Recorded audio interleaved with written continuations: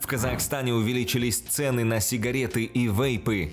По данным Бюро национальной статистики, стоимость одной пачки в среднем выросла на 19% за год. Сильнее всего рост цен ощутили жители столицы сразу на 24,3%. Пятерке регионов антилидеров также оказались Восточно-Казахстанская, Акмолинская и Жамбылская области, а также город Алматы. Наименьший рост зафиксирован в Павлодарской области на 12,5% за год. Денежные расходы домашних хозяйств на табачные изделия составили в среднем 11,5 тысяч тенге на 9,4% больше, чем годом ранее.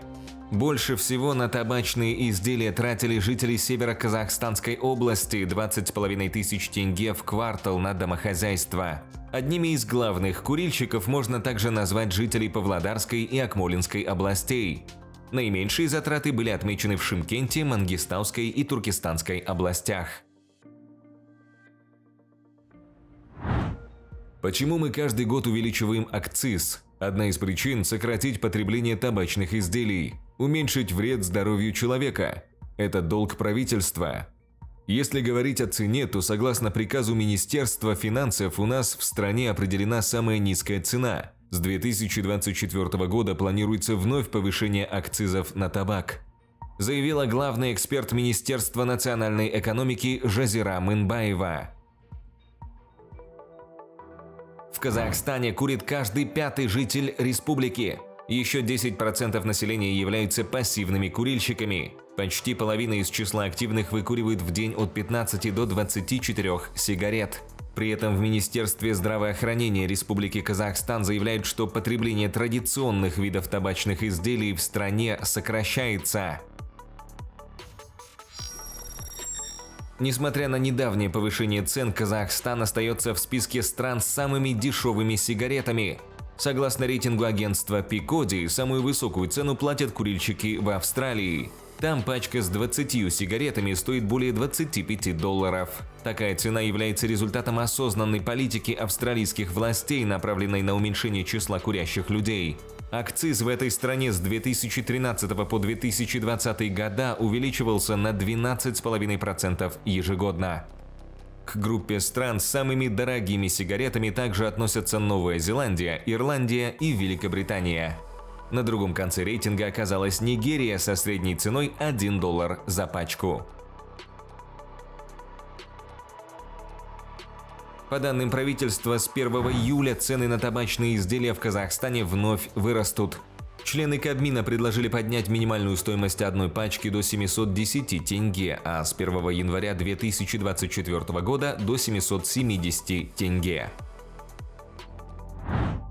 Казахстан в 2006 году ратифицировал рамочную конвенцию ВОЗ по борьбе против табака. Правительство должно выслушивать точку зрения всех, в том числе промышленности и индустрии, но влиять на конечные решения производителей никак не должны. 70% населения страны выступает против курения. Заявила представитель Всемирной организации здравоохранения Адриана Бланко. Крупнейшие предприятия Казахстана по производству сигарет только за 9 месяцев прошлого года произвели товаров на 206 миллиардов тенге. Это на 21% больше, чем за первые 9 месяцев 2021 года. Основным фактором роста стал высокий спрос на сигареты. Индекс промышленного производства увеличился на 15%. Согласно данным Бюро НАЦ статистики, общий стоимостный объем произведенной и поступившей из-за рубежа табачной продукции за 9 месяцев составил порядка 500 миллионов долларов.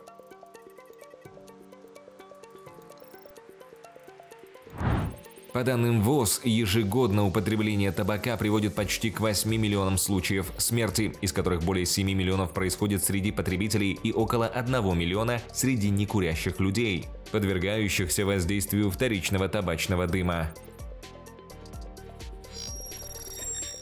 По статистике Минздрава за прошлый год от болезней органов дыхания в стране умерли более 13 тысяч человек, на 36,9% меньше, чем годом ранее.